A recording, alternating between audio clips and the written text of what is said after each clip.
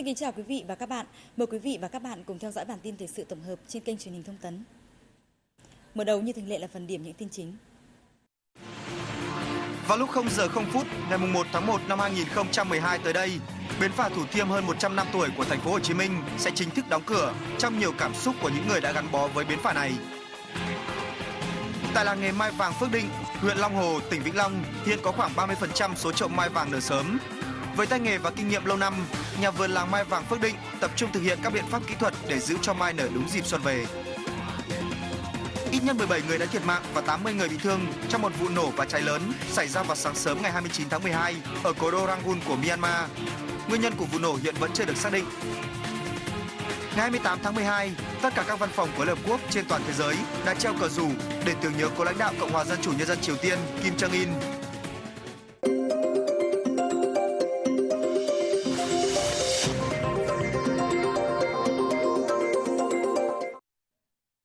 Thưa quý vị và các bạn, vào lúc 0 giờ ngày 1 tháng 1 năm 2012 tới đây, bến phà Thủ Thiêm hơn 100 năm tuổi với bao kỷ niệm của người dân thành phố Hồ Chí Minh sẽ chính thức đóng cửa. nhưng công việc nối liền đôi bờ Đông Tây Sài Gòn cho công trình hiện đại hầm đường bộ vượt sông Sài Gòn khánh thành tháng 11 vừa qua. đến sau đây là ghi nhận của phóng viên truyền hình thông tấn trước giờ đóng cửa bến phà Thủ Thiêm. Hơn trăm năm qua, những chiếc phà này đã chuyên chở không biết bao nhiêu lượt hành khách, phục vụ nhu cầu đi lại, buôn bán và làm việc của người dân giữa quận 1 và quận 2 thành phố Hồ Chí Minh. Bến phà đóng cửa, người dân sẽ di chuyển qua lại giữa hai bờ bằng hầm sông Sài Gòn hay cầu Thủ Thiêm. Đi lại bằng cầu hoặc hầm thuận tiện hơn, nhưng với nhiều người thì phà vẫn gợi lại một nét nào đó rất riêng trong tâm trí họ. Hai ngày chục năm rồi, mà giờ từ lúc mà nghe phà đóng cửa cô, cô rất là buồn. Cô chắc có lẽ cô là người nghe buồn nhất tại vì cô không biết chạy xe máy là một giờ phải đành chịu thôi giờ phải phải nghe đi nghe dòng đường Nguyễn Hữu và Cảnh qua mà đánh cái dòng rất là xa mà lên mấy mấy cái dốc cầu lận. Cảm xúc của hành khách là vậy, còn đối với những người trực tiếp làm việc ở bến phà này cũng thật khó khăn khi phải nói lời chia tay với bến bờ và những chiếc phà thân thuộc. Chẳng bao lâu nữa, ông Đỗ Đăng Phúc sẽ không còn được điều khiển chiếc phà trên bến sông này, nơi đã quen thuộc với ông hàng chục năm nay. Với cái ngành à, này thì tôi làm đã trên 20 năm rồi. Và thời gian sắp tới thì bến phà đóng cửa theo cái quy luật phát triển của xã hội thì phải thay thế. Thì có những cái cũng với công việc mấy chục năm mình cũng có sự à, đứng tiếc à, khi mà bến phà à, thủ thiêm dẹp thì một số về cắt lái một số lại để xây dựng bến thủy nội địa một số thì qua bên hầm trong những ngày này, phà Thủ Thiêm chỉ còn vận chuyển lượng khách chưa bằng 1 phần 10 so với trước đây khi chưa có đường hầm sông Sài Gòn. Qua thời gian công tác thì à, nói chung là cũng có cái tình cảm đối với à, bến phà. Thì à, khi mà bến phà ngưng hoạt động thì tôi cũng thấy là cũng có đôi phần luyến tiếc. Nhưng mà theo quy luật tất yếu thì Ờ, thành phố mỗi ngày một phát triển đi lên thì có những công trình hiện đại như hầm thủ thiêm là chúng tôi rất mừng là cũng ờ, thành phố là cái hướng phát triển rất tốt. Phà Thủ Thiêm đóng cửa là tất yếu trong quá trình phát triển chung của thành phố Hồ Chí Minh. Những bến phà cũ dần sẽ không còn nữa khi những đường hầm, những cây cầu được xây dựng đáp ứng sự phát triển của kinh tế xã hội nhưng với những người từng gắn bó với nơi này, họ sẽ còn lưu luyến về hình ảnh những chuyến phà cần mẫn đưa khách vượt sông. Hôm qua, cơ quan cảnh sát điều tra công an tỉnh Đồng Nai đã chuyển hồ sơ qua công an huyện Định Quán để thực hiện các bước khởi tố vụ án voi chết tại rừng phòng hộ Tân Phú.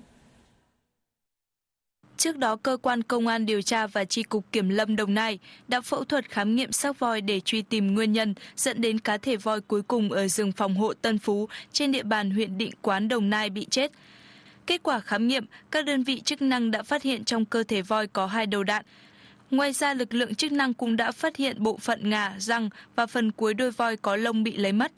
Cơ quan chức năng cho rằng đây là vụ xâm phạm động vật quý hiếm nghiêm trọng, sau đó việc khởi tố vụ án nhằm tiến hành các bước điều tra truy tìm thủ phạm gây ra cái chết cho cá thể voi quý còn sót lại ở khu rừng Tân Phú. Đây là con voi rừng cuối cùng ở rừng phòng hộ Tân Phú bị chết và là cá thể voi thứ 9 bị chết tại các cánh rừng trên địa bàn tỉnh Đồng Nai kể từ năm 2009 đến nay. Hiện cơ quan công an tỉnh Đồng Nai cùng các đơn vị liên quan đang tiếp tục điều tra làm rõ. Nếu như vào thời điểm này năm ngoái, rét đậm kéo dài đã khiến các chủ vườn đào ở Hà Nội phải sưởi ấm kích nở cho hoa, thì năm nay nắng ấm kéo dài đã làm cho hoa đào nở sớm. Điều này cũng khiến cho nhiều chủ vườn lo lắng không có đào cung ứng vào dịp Tết Nguyên đán. Mặc dù còn một tháng nữa mới đến Tết, nhưng tại nhiều làng trồng đào nổi tiếng ở Hà Nội như Nhật Tân, Đại Mỗ, Tứ Liên, đào đã nở hoa rực rỡ. Thậm chí nhiều bông còn héo và ít nụ. Một trong những nguyên nhân khiến đào nở sớm hơn so với dự tính là do thời tiết bất thường. Thời tiết ờ, kể từ, từ khi tháng 7 âm lịch cho đến bây giờ là giữa nửa cuối tháng 11 âm lịch thì là lại không thuận lợi ở cái nét là lúc này là người làm hoa đào cần phải chờ cái tiết trời là khô lạnh khô lạnh để mà khi mà hãm cây đào không phát triển sự ra lá và ra mầm nữa để ngưng lại cái sự sống để dồn lực nuôi cho mắt hoa lụ thì những tháng đó cho đến thời điểm này là không thuận lợi. Do vậy mà cái lá và lộc nó phát triển nhiều. Theo những người trồng đào, hiện tại đang là giai đoạn khoanh gốc, tuốt lá cho cây. Tuy nhiên, thời tiết nắng ấm kéo dài đã khiến hoa nở sớm. Nếu vẫn tiếp tục duy trì nền nhiệt và thời tiết này, rất có thể đào sẽ nở hoa và tàn hết trước khi Tết đến. Bởi vậy, người dân đang mong đợi thời tiết sớm ổn định và lạnh trở lại để hoa có thể nở đúng dịp. Nếu mà thời tiết mà nắng lên vài ngày nữa mà quay rét thì là đào năm nay đẹp mà được mùa. Kinh nghiệm từ các chủ vườn cho biết, nắng nóng kéo dài, bắt buộc phải làm giàn tre và phun nước lạnh thường xuyên để hãm. Nếu thời tiết quá lạnh, cần phải tưới nước ấm quanh gốc đào để đảm bảo đủ nhiệt độ kích thích cho đào ra hoa đúng kỳ hạn. Nhiệt độ từ 15 đến 22 độ C được coi là thích hợp nhất để đào phát triển thuận lợi.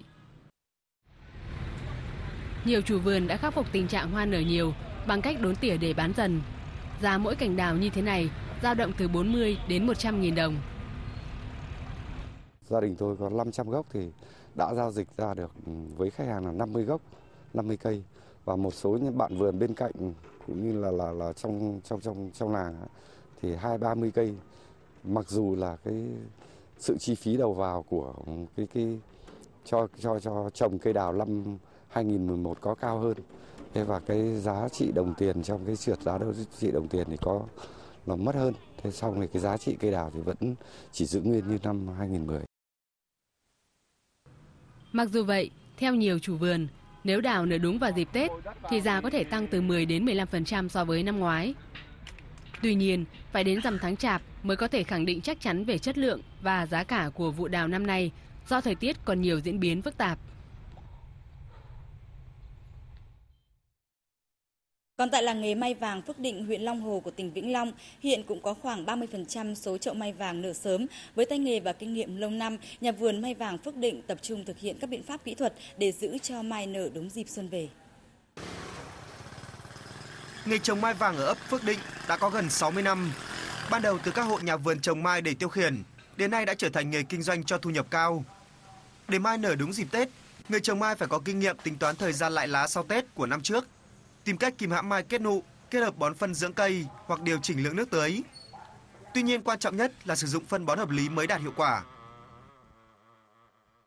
À, cây mai nở sớm năm nay do nơi à, biến đổi khí hậu, thời tiết à, mưa nắng bất thường.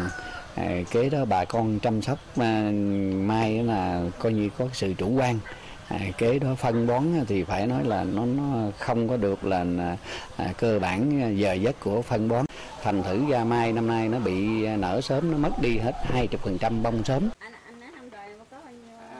Từ khi được công nhận làng nghề mai vàng Phước Định vào tháng 7 năm 2009, nhà vườn nơi đây đã có nhiều thuận lợi hơn trong việc mở rộng quy mô, giới thiệu loại hoa tiêu biểu cho mùa xuân ở phương Nam đến các thị trường ngoài tỉnh. Tuy nhiên, người trồng mai cũng cần được hỗ trợ để làng nghề phát triển bền vững. Làng mai Phước Định cũng kiến nghị lên dưới nhà nước để hỗ trợ một cái ờ, ờ, số vốn để ờ, nhằm sản xuất cho bà con. Mà cái số vốn thì phải nói là rất dài hạn và lãi suất rất nhẹ. Và sau đó là một cái nơi chợ qua ở tại chỗ là ừ, những cái lô hàng bán đó, phải nói để nhằm quảng bá cái làng nghề. Từ một cây trồng phụ mang tính tiêu khiển đến nay nghề trồng mai ở Phước Định đã trở thành nghề chính giúp người dân Phước Định có nguồn thu nhập ổn định vươn lên làm giàu đem lại hương sắc mùa xuân rực rỡ cho vùng đất phương Nam Trong những năm gần đây thì Ban bảo vệ sức khỏe cán bộ của tỉnh Vĩnh Long đã ứng dụng phương pháp quang châm laser bán dẫn điều trị có hiệu quả bệnh thoái hóa gai cột sống, vùng thắt lưng và gai gót chân cho nhiều bệnh nhân. Đây là đề tài khoa học do bác sĩ Lưu Thành Dữ, Phó trưởng ban bảo vệ chăm sóc sức khỏe cán bộ làm chủ nhiệm và đã báo cáo tại hội nghị nội khoa trung ương tổ chức trong năm 2011 tại bệnh viện thống nhất thành phố Hồ Chí Minh. Năm 2011, số lượt bệnh nhân đến khám và điều trị tại ban bảo vệ chăm sóc sức khỏe cán bộ tỉnh Vĩnh Long trên 27.000 lượt cán bộ, trong đó có nhiều người cao tuổi. Với đề tài khoa học, ứng dụng quang châm laser bán dẫn, điều trị có hiệu quả bệnh thoái hóa gai cột sống, vùng thắt lưng. Ban đã tổ chức điều trị khá hiệu quả cho nhiều bệnh nhân. Qua nghiên cứu trên 80 bệnh nhân đau do gai thoái hóa cột sống dùng thắt lưng bằng quang châm laser bán dẫn thì chúng tôi thấy ờ, trong đó thì ờ, điều trị khỏi là 69 bệnh nhân đạt tỷ lệ 86,25%. À, giảm đau thì 7 bệnh nhân đạt tỷ lệ 8,75%. Bằng à, phương pháp laser bán dẫn này thì so so với các phương pháp khác thì có nhiều điểm ưu việt hơn là bệnh nhân dễ tiếp nhận vì không gây cảm giác đau và sợ, không gây tai biến trong điều trị, à, không gây tác dụng phụ thì hiệu quả điều trị cao. Tôi bị ờ, đau cột sống thắt lưng, em là hai em là năm. Khi tôi đến đây khám thì bác sĩ Hằng nói là tôi bị gai cột sống à, thắt lưng cho nên cho tôi chiếu tia laser 3 tháng. Thì hôm trước nay thì tôi đã chiếu được 2 tháng rồi. Thì tôi thấy đã giảm được khoảng 80%. Tia laser bán dẫn thì ứng dụng cái việc rất lâu dài nhưng hiệu quả cao thì cái hướng tới thì mình sẽ tiếp tục triển khai cho cơ sở tiếng ban hiệu huyện thị và cái trang bị cho phù hợp với yêu cầu để phục vụ cho môn tốt hơn thì bây giờ sẽ đưa vào cái bố trí hệ thống à, hoạt động và cái sử dụng cái máy này tiếp tục à, cái cho cán bộ mà à, an dưỡng phục hồi chức năng sau này. Hiện nay Ban bảo vệ chăm sóc sức khỏe cán bộ tỉnh đã có dự án xây dựng trung tâm điều dưỡng tại thành phố Vĩnh Long trong giai đoạn 2012-2014 với 60 giường, tổng kinh phí xây dựng và trang thiết bị trên 100 tỷ đồng để mở rộng ứng dụng, phương pháp điều trị không dùng thuốc này và điều trị có hiệu quả đối với các bệnh nhân đau vùng thắt lưng do gai thoái hóa cuộc sống cho cán bộ và nhân dân trong tỉnh.